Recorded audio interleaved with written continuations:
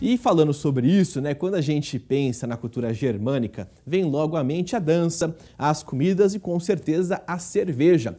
O país é mundialmente conhecido por conta dessa bebida tão apreciada. Vamos dar uma olhada. Antônio é um apaixonado por cerveja. Há 11 anos, ele coleciona copos. Neste espaço são quase 300 e cada um deles é para um tipo de cerveja específica. Esses grandões, por exemplo, são os mais utilizados pelos alemães. Ela é muito usada nas festas da Oktoberfest por conta né, de ter aqui uma capacidade de um litro. É um copo que para tomar em quantidade e, enfim, para aproveitar o clima festivo da festa lá.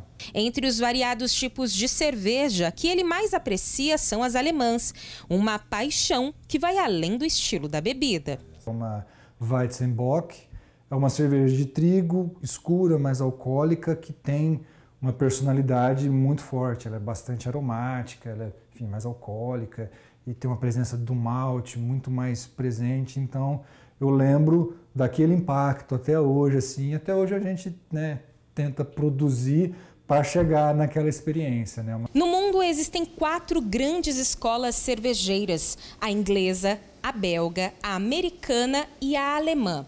Dentro da escola alemã existem vários estilos, mas dois especificamente são mais apreciados pelos brasileiros, que são a cerveja Pilsen e a de trigo. A cerveja alemã, por conta da lei da, da pureza alemã, lá de 1516, tem que ser só água, malte, lúpulo e levedura. Então, isso ajuda a mudar um tanto o perfil sensorial da cerveja. O Brasil é o terceiro maior consumidor de cerveja do mundo.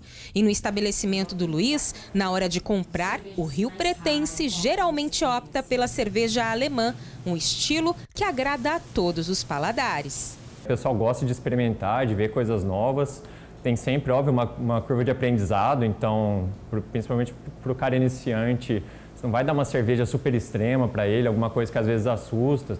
Pô, ele gosta da cerveja mais comercialzona, vamos oferecer uma coisa não tão amarga, às vezes não tão maltadona, não tão alcoólica, e aí em cima disso ele vai desenvolvendo o próprio gosto. Reforçando então, a Oktoberfest SBT de 4 a 6 de novembro no estacionamento do Rio Preto Shopping.